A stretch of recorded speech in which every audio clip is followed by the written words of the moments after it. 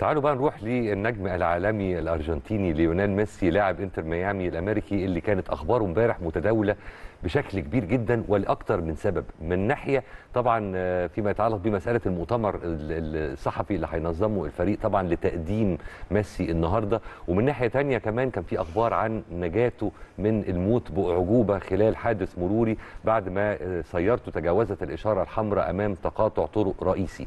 صحيفة ميرور البريطانية آه، قالت إنه مش معروف قوي إذا كان ميسي هو اللي كان بيقود هذه السيارة ولا كان بيقودها واحد من الناس اللي كانوا معاه. لكن آه، في الحالتين هو كان كده كده موجود داخل السيارة ولحسن الحظ الحمد لله توقفت السيارة طبعا القادمة من الاتجاه المعاكس دون أن آه، يحدث أي تصادم أو يعني أمر لا يحمد عقباه.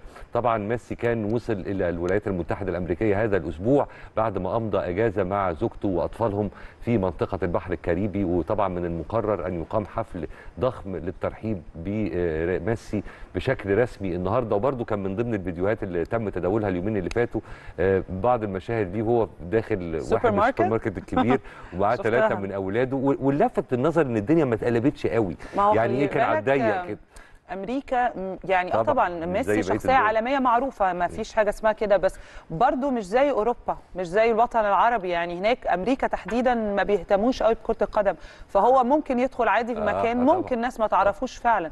لكن طبعا لو عدى هنا جنبنا. يعني الموضوع مختلف أو أوه. في أوروبا أو غيره طبعا. بس أنا برضو استغربت ناس آه، آه، اخذت بالها في الآخر وهم بيحاسبوا. ده طبعا ما يحصلش أو غير مألوف يعني.